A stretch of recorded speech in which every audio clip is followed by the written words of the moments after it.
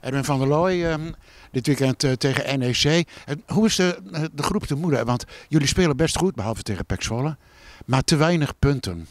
Ja, nou ja, ik, ik denk dat dit spijker op de kop is. Dus eh, de wedstrijden die we, waar we echt beter waren, vond ik, Zwolle en ook eh, Almere thuis. Die hebben we niet om kunnen zetten in, eh, in een verschil in doelpunten. En daar gaat uiteindelijk voetbal natuurlijk om. Dus, we- dus we moeten meer scoren. Eh, daar zijn we ook hard mee bezig. Aan de andere kant begrijpen we ook wel eh, waarom dat eh, iets minder kan zijn natuurlijk. Als je Jis en Luca die nu eh, weer aansluiten. Als je die een tijdje gemist hebt.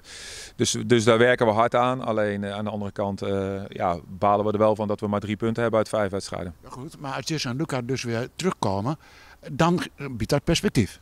Zeker, zeker. Dus ik, ik vind ook wel dat we beter worden en dat we ons ontwikkelen als team. Alleen, ja, ik weet ook wel hoe voetbal werkt. Eh, iedereen kijkt natuurlijk eh, naar, de, naar de wedstrijd in het weekend. En, kijk, en op basis daarvan wordt een mening gevormd. En als je dan niet wint van Almere, is dat teleurstellend.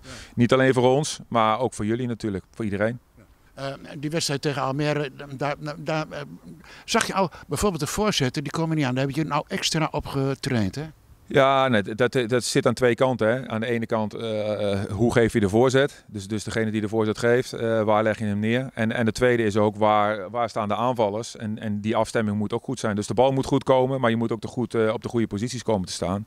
Ja, dat is ook wel gewenning aan elkaar. Dus daar, daar hebben we hard op getraind ook. Even de bezetting, Sam Scheperman is er niet bij zaterdag. Ehm, eh, Luca Kolenovic waarschijnlijk wel. En Jess Hornkamp zit bij de groep. Dat betekent dat hij op de bank zit.